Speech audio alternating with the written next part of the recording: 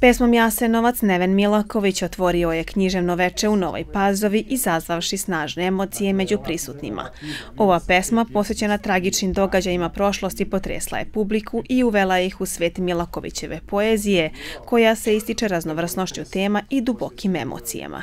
Često zastanem jer nisam siguran da ću uspiti da izguram do kraja. Znate, stegne mi se grlo, ali ako nije takva poezija, onda to i nije poezija. Da onda je to, kako ja kažem, skladno eh, ređanje riječi.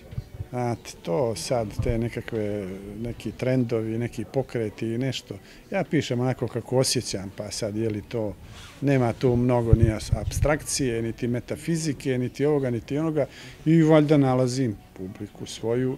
Milaković, pesnik i pisac iz Crne Gore, predstavio je pazovačkoj publici svoje stvaralaštvo koje obuhvata rodoljubive, duhovne, ljubavne, kafanske, prigodne i zavičajne pesme, kao i nekoliko romana. Od malih nogu posvećen pisanju do sada je napisao više od 30 dela, a među najpoznatijim su Radost pokajanja i Vila sa košara.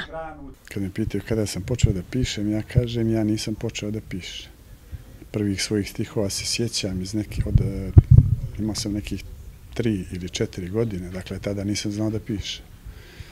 E, I naravno nisam raspolagao terminima. Nisam ni znao ni šta je pjesma, ni šta je poezija. Onda bih, kad bi me majka i sestra nešto naljutili, onda bih rekao, e sad ću nešto da vam skuva. Tako da sam prvo počeo da kuva.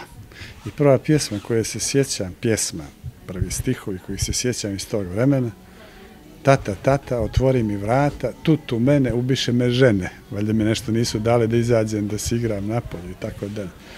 Tako da, ovo je, djeluje šaljivo, ali nije baš toliko šaljivo. Znači, vi se sa time rodite ili ne. Moderator večeri bila je Ljijana Sekimić, vede direktora Narodne biblioteke Dosita Jobradović, Obradović, koja je vodila prisutne kroz bogat Milakovićev opus, čineći ovo književno veče nezaboravnim.